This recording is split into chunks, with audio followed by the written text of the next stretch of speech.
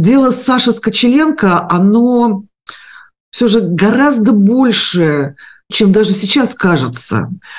Э, я вижу реакцию, я вижу реакцию, например, немцев на это дело.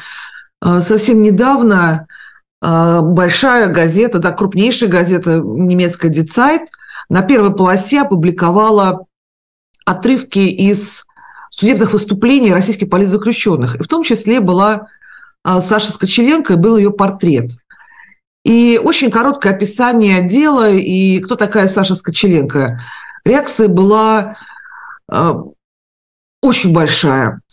Но в любом случае, в любом случае, мы же понимаем с вами, известные политзаключенные, вот их портреты, да, это там мужчины, это, это и есть ну, женщины, как вот журналистка там Прокопенко, ну, это, это все ужасно и э, действительно несправедливо, э, но э, Саша Скочеленко, она сама по себе вызывает чувство, может быть, даже неконтролируемое, хрупкое,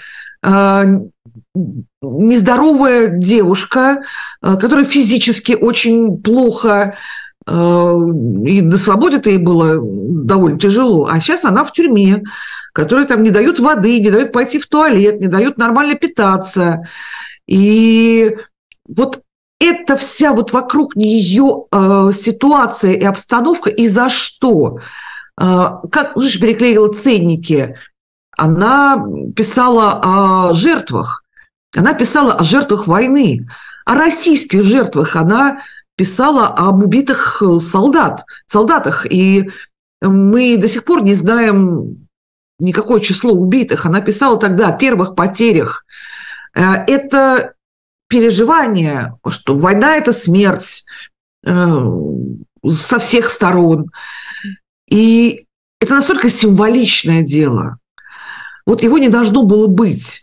Вот тем, чтобы нанести какой-то вот окончательный урон э, судебной власти, правоохранительным органам, Кремлю, лично Путину, вот нужно было взять Сашу Скочеленко, чтобы показать всем, да, мы козлы, да, вот мы, мы подонки, мы мрази, мы ничтожество, мы мерзкие, мстительные идиоты, да, вот надо было взять именно Сашу Скочеленко.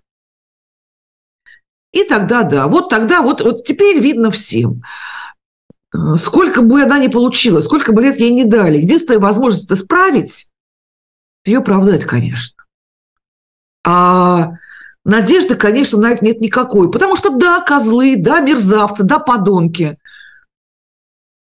А все время думаешь, а вдруг все-таки нет, вдруг не подонки. Ну нет, подонки. Она символ. Так бывает, что э, тысячи людей совершают э, героические поступки, и они были совершены за это время.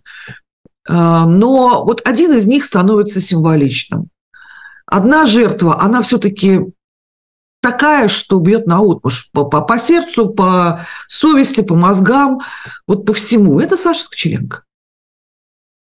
Ольга, мне нужно поправить небольшую несправедливость, которая у нас произошла относительно сети магазинов. А, значит, во-первых, а, я уточнил а, конкретику. Во-первых, сеть магазинов «Перекресток», но важная деталь. Ее сдали не сотрудники магазина, а пенсионерка. Покупатель, при этом сотрудники сами магазина возмущение пенсионерки не разделили. То есть они выразили удивление, что вообще пенсионерку это озаботило. Пенсионерку зовут Галина Баран. Баранова.